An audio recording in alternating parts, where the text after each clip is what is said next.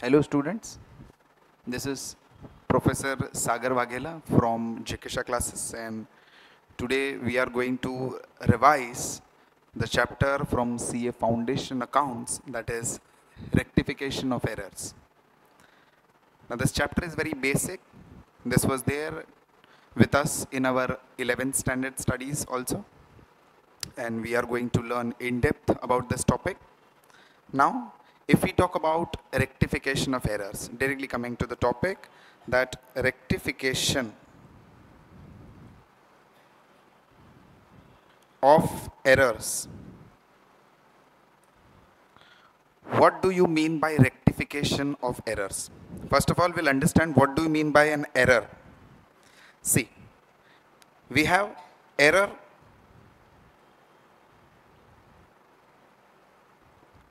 just a second. We have error and we have fraud. What do you mean by error and fraud and what are the bifurcations between the two?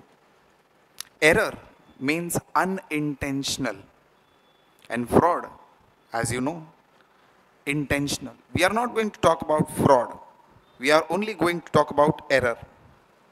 Now, in today's world, we are using softwares. हम software use करते हैं to record our books of accounts. And these books of accounts are recorded by softwares like Tally and whatnot. But the truth remains, who enters the transaction in these softwares? It is human. So it is naturally possible that human are prone to errors. Humans are prone to errors. And due to the wrong entering by us into these books of accounts, these things cause errors. And when we enter in a wrong fashion, in a wrong manner, in a wrong sense, the effect comes to our books of accounts. Now we are going to learn about classification of errors. What are the classifications of errors? Errors are classified into two categories. There are two types of errors. One is error of principle and we have clerical errors. Now firstly we'll be talking about errors of principle. The word, word principle itself, it suggests. Principle means kuch important. Now what is this error of principle? This means going against the accounting principles. Sir, what do you mean by going, ag going against an accounting principle? It means that when you record a balance sheet item as a trading or P&L account item or so to say a capital item as a revenue item that means sir nahi samajh mein aaya ye kya hai और थोड़ा सा simplify करते हैं इसको. When you record an asset as an expense और when you record an expense as an asset this is called as fundamental accounting error and that we call as error of principle error of principle में आप एक asset को क्या record कर लेते हैं? Expense और एक्सपेंस को एसेट सर इसका कोई एग्ज़ाम्पल मिल सकता है? Yes say for example you have bought a furniture for rupees 5000 cash, furniture, bought for cash, rupees 5000 क्या एंट्री आना चाहिए इसका? Furniture comes in cash goes out that is furniture account debit to cash account is it इस entry को अगर गलती से हमारे अकाउंटेंट ने ये बॉट वर्ड के वजह से have recorded as purchase account debit to cash account then it means कि हमने फर्नीचर को क्या बता दिया? परचेज अकाउंट के थ्रू बता दिया। That is we have recorded an asset as an expense this makes error of principle I hope you understand what I am trying to say यहाँ पे एरर ऑफ़ प्रिंसिपल क्यों हो रहा है? क्योंकि हमने एक एसेट को कैसे रिकॉर्ड कर दिया? As an expense and vice versa if you record it उल्टा रिवर्स मतलब एक एक्सपेंस को आपने एसेट बता दिया, या तो एक एक्सपेंस को आपने एक्सपेंस के जगह पे कोई बैलेंस शीट आइटम बता दिया then it will be called as error of principle this is the only category we have over here coming to the next category जहाँ पे थोड़े और बाइफर्केशन है बच्चे लोग. यहाँ पे first the name of the error is clerical errors clerical error has three different categories the first category being सबसे favourite error of omission when you omit a transaction in the books of account जब record ही नहीं करते हम भूल जाते हैं record ही नहीं करना है छोट our accountant was incapable and he could not record the transaction दो प्रकार के ओमिशन हो सकते हैं बच्चा लोग। First is that you will completely ignore the transaction and omit the transaction fully. Second, partial transaction ignored मतलब सर डेबिट साइड रिकॉर्ड कर लिया क्रेडिट साइड नहीं रिकॉर्ड किया क्रेडिट साइड रिकॉर्ड कर लिया डेबिट साइड नहीं रिकॉर्ड किया। What does it mean it means कि आपने ट्रांजैक्शन को पार्शियली क्या कर दिया? ओमिट कर दिया। ना when you omit the transaction आपका ट्रायल बैलेंस टैली नहीं होगा। अगर आपने पार्शियल ओमिशन किया है तो लेकिन अगर आपने कंप्लीटली एंट्री ओमिट कर दिया दैट मीन्स वो एंट्री आपके लिए कभी था ही नहीं। इट मीन्स के ट्रायल बैलेंस टैली होगा but at a wrong figure I hope you understand this is error of omission एक एंट्री रिकॉर्ड करना चाहिए था। आपने पूरा का पूरा एंट्री ओमिट कर दिया and the entry was not recorded it is complete omission what is partial omission partial omission means मैं आपको सुन नहीं पा रहा हूँ, लेकिन I know that you are trying to tell the entry and tell the answers to me good partial omission means आपने entry आधा रिकॉर्ड किया और आधा नहीं रिकॉर्ड किया. This is called as partially omitted second error under clerical error is error of commission what do you mean by of commission, sir? Error of commission मतलब error of recording.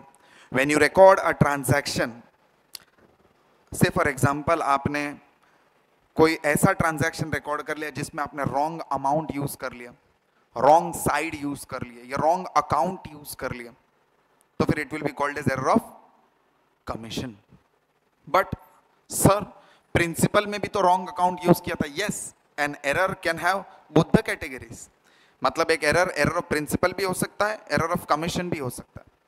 Together speaking about these things के error of commission के साथ में error of principal आ सकता है क्या sir yes both the errors are possible together error of principle error of commission साथ में आएगा। यहाँ पे आपने या तो रॉन्ग अमाउंट या तो रॉन्ग अकाउंट या तो wrong side of the account आपने रिकॉर्ड कर लिया।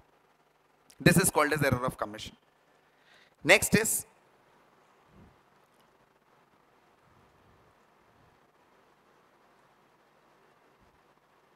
compensating errors. What do you mean by compensating errors? Compensating error का मतलब है कि ऐसे एरर्स आते हैं जो सेट में आएँगे और एक दूसरे के इफ़ेक्ट को नलिफाई कर देंगे। These are the most difficult to find practical life में these are the most difficult to find और सबसे ज़्यादा समय इनको ही ढूँढने में लग जाता है, लेकिन वी आर सो ब्लेस्ड कि हमको क्वेश्चन में ऑलरेडी दिया होता है। कि say for example your sales book is overcast by rupees fifty and even your purchase book is overcast by rupees fifty तो सेल्स और परचेज दोनों ओवरकास्ट है। ट्रेडिंग अकाउंट में इसका इफ़ेक्ट हो जाएगा nullify I hope you are understanding purchase book sales book दोनों भी ओवरकास्टेड है। तो दोनों भी एक दूसरे के एरर को नल्लीफाई कर देते हैं। This is called as compensating error so we learn four types of errors first is error of principle second is error of omission in our clerical errors error of omission दो प्रकार के first is correct partial omission complete omission दोनों आ गया। उसके बाद में बात करेंगे एरर ऑफ़ कमीशन के बारे में। एरर ऑफ़ कमीशन मतलब रॉन्ग अमाउंट रॉन्ग अकाउंट और ऑन द रॉन्ग साइड और ऑल द थ्री टुगेदर उसके बाद में बात करेंगे कॉम्पनसेटिंग एरर का। कॉम्पनसेटिंग एरर का मतलब है एक दूसरे को नल्लीफाई करेंगे और ये एरर आएगा सेट में। आई होप आपको समझ में आ रहा है। Now talking about the stages of errors कब कब हो सकता है एरर एरर कभी भी हो सकता है। लेकिन सर कुछ क्लासिफिकेशन है इसका? है। First is while writing our journal book journal entry लिखने के टाइम में, गलत एंट्री रिकॉर्ड कर दिया आपने एरर हो गया। Second is while transferring this journal posting them into the ledgers तभी मिस्टेक हो गया, तभी भी हो सकता है उसके बाद में वाइल बैलेंसिंग द लेजर गलत बैलेंसिंग कर दिया आपने। An error is possible and the last that is while preparing the trial balance trial balance बनाते वक्त भी आपका एरर हो सकता है I hope you are understanding that these are the four types of stages wherein आपका error हो सकता है फ़र्स्ट इज़ जर्नल एंट्री में आपका गलती हो सकता है second is your error may be in journal post journal entry के बाद में लेजर पोस्टिंग आफ्टर दैट उसके बाद में balancing of a ledger and lastly while preparing the trial balance ये चार स्टेजेस में आपका एरर हो सकता है. Now speaking about the next part of rectification इसमें कैसे डिटेक्ट कर सकते हैं आप errors how can you detect the error see stages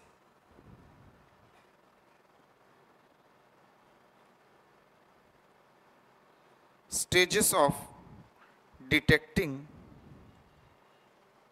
errors first is before preparation of trial balance trial balance बनाने के पहले आपने एरर फाइंड आउट कर लिया. Before TB preparation second after trial balance but before final accounts final accounts के पहले. Third category and the final category after final accounts are prepared final accounts बनाने के बाद में भी ऐसा पॉसिबल है कि आपको कोई एरर मिल जाए और उसके बाद के एरर को कैसे रेक्टिफाई करते हैं that will be talking in a later part but पहले let us talk about these transactions and how to rectify these errors. Let us take an example how to rectify these errors. Say for example, we have a simple entry, wages paid, wages paid rupees 2000 are recorded through are recorded through salary account इसका मतलब क्या है wages पे किया था दो हज़ार रुपया लेकिन रिकॉर्ड किसके थ्रू किया सैलरी के through this means that the correct entry we are going to bifurcate our rectification into three parts हमको तीन ही पार्ट चाहिए. First is correct entry second is wrong entry third is rectifying entry correct entry का मतलब हमें सही entry पता होना चाहिए. बच्चा लोग you should have the knowledge of how to pass a journal entry अगर आपको जर्नल एंट्री पास करने में थोड़ा सा दिक्कत होता है, थोड़ा प्रॉब्लम होता है तो it is going to be bit for you to solve rectification. लेकिन I'll be helping you out with this trick also in the last part of the video so correct entry का अगर हम लोग बात करें तो इसका करेक्ट एंट्री क्या आना चाहिए? Wages account debit to cash account हमने क्या पास कर दिया गलती से? Our wrong entry was salary account debit to cash account now what should be the rectification entry for this part We will compare the correct entry with the wrong entry. Always do this. We will compare the correct entry with the wrong entry.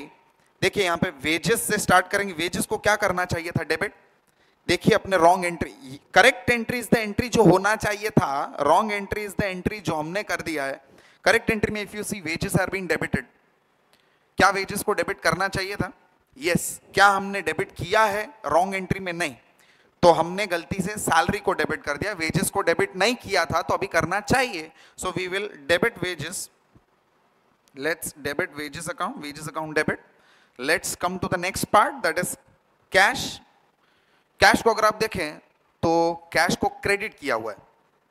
Cash को correct entry में credit करना था और wrong entry में भी हमने क्या किया? क्रेडिट किया मतलब कैश में कोई भी एरर नहीं है। So if you see cash cash absolutely right no issues no problem yes इसके बाद इफ़ यू सी एक ही पार्ट बचता है दैट इज़ सैलरी सैलरी को आना ही नहीं चाहिए था। गलती से आ गया है। तो अगर आ गया है now what do we do we have debited salary by mistake now we have to nullify the effect of debit by giving a credit. हमें क्रेडिट दे देना है अपने रेक्टिफिकेशन एंट्री में। To salary account this will make your job very very easy यहाँ पे देखिए correct entry को रॉन्ग एंट्री से भी कंपेयर किया दोनों फैक्टर्स मिल गए and the job was extremely easy for us to do I hope you are understanding yes students coming to the next part whenever whenever we have errors being detected after the preparation of trial balance trial balance tally nahi ho raha तो उसको force tally करने का कोशिश करते हैं। How is this force tally done force tally करते हैं by using a temporary account that temporary account is called as we already know it let us not create any more suspense on it. It is called suspense account.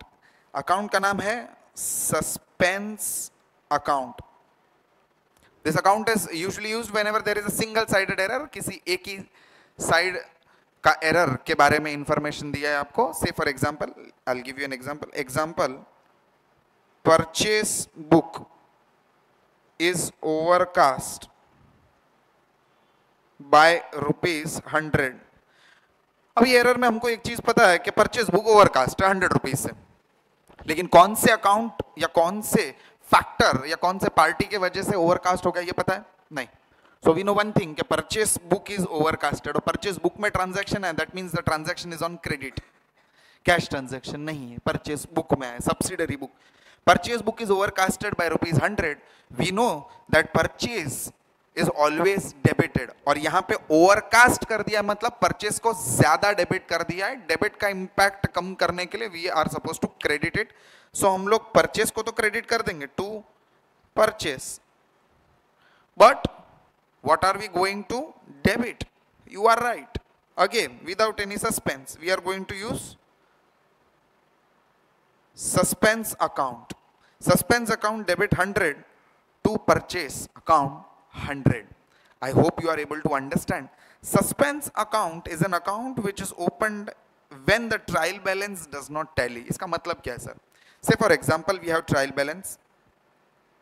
Debit side में 100 है credit side में 90 है तो आप लोग बताइए suspense account कौन सा साइड में है it is very generic common sense आप 10 डेबिट साइड से निकालेंगे तो नहीं। You are going to add 10 to your credit side मतलब if TB is, trial balance is debit heavy मतलब सर अगर debit side is heavier then the credit side तो फिर आपका सस्पेंस अकाउंट जो है that will show which balance credit balance which balance credit balance और इसका उल्टा अगर trial balance is credit heavy